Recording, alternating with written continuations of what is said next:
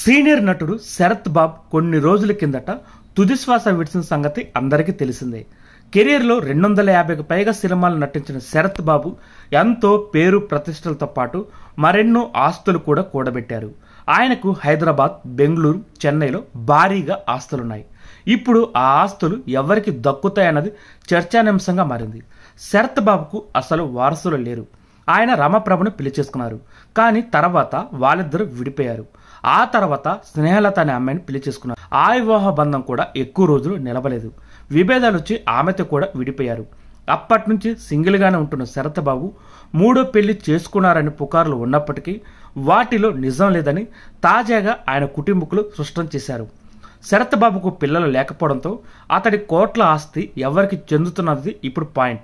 సరిగ్గా ఇక్కడే వాళ్ళ కుటుంబ నేపథ్యం ఆసక్తి రేకెత్తిస్తుంది. శరత్ బాబుకు ఎనిమిది మంది అన్నదమ్ములు ఐదుగురు అక్క చెల్లెలు. శరత్ బాబు మూడోవాడు. ఆశ్చర్యకరమైన విషయం ఏమిటంటే ఇప్పటికీ వీళ్ళంతా కలిసే ఉంటున్నారు. అంతేకాదు తన చెల్లెళ్ళ పెళ్ళిలతో పాటు వారి పిల్లల పెళ్ళిళ్ళు కూడా శరత్బాబే చేశారంట. ఆ కుటుంబంలో ఎంతో మందిని చదివించారంట.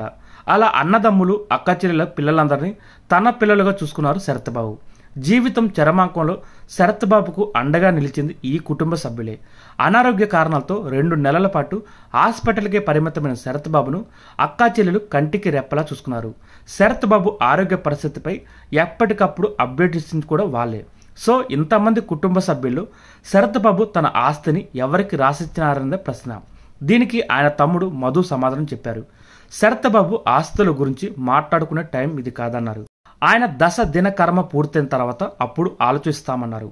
శరత్ బాబు వీలునామా రాసి ఉంటే దాని ప్రకారం ఆస్తి పంపకాలు జరుగుతాయని ఒకవేళ వీలునామా లేకపోతే అప్పుడు అంతా కూర్చొని చర్చించుకుంటామని మధు తెలిపారు. తామంతా ఉమ్మడి కుటుంబంగా కలిసి ఉంటున్నామని ఆస్తి కోసం కొట్టుకునే పరిస్థితి రాదని కూడా స్పష్టం చేశారు. తాజా సమాచారం ప్రకారం శరత్బాబు తన వీలునామా రాసి ఉంచారని తెలుస్తుంది.